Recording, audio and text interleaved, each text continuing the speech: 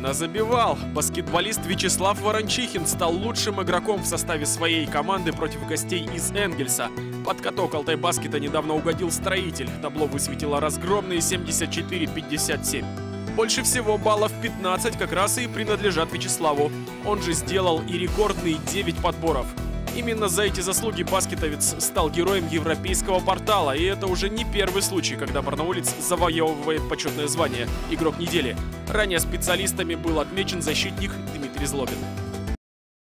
Самое главное, чтобы они не расслабились, не повесили себе на шею каких-то призрачных медалей преждевременно, не поставили себе на голову корону. Но я думаю, что это те люди, которые, которые в принципе так не поступают. Это так называемые трудяги. И я жду от них в дальнейшем также прогрессии и дальнейших результатов.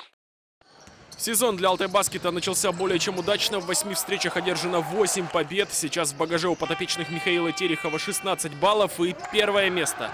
Клуб бьет и своих, чтобы, видимо, чужие боялись. Так, накануне баскетовцы на домашнем паркете встретились с победителем Кубка Алтайского края командой «Реванш».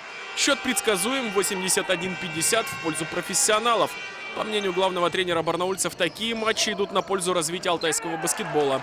Впереди у Алтай Баскета выездная серия, которая начнется 16 ноября. Направление Ставрополь-Пермь. Домашний разгром хоккеисты Алтая получили 7 пробоин от смоленского Славутича.